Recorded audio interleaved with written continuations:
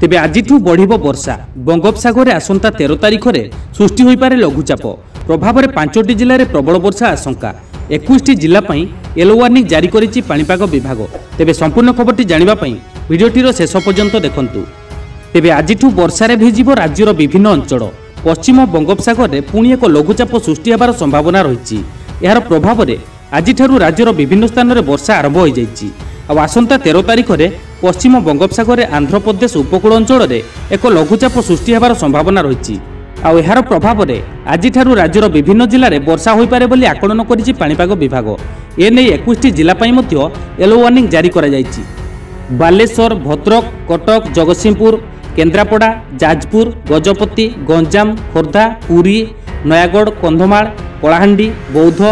ବଲାଙ୍ଗୀର ସୋନପୁର সম্বলপুর অনুগুল দেবগড় কেন্দুঝর ও ময়ূরভঞ্জ জেলার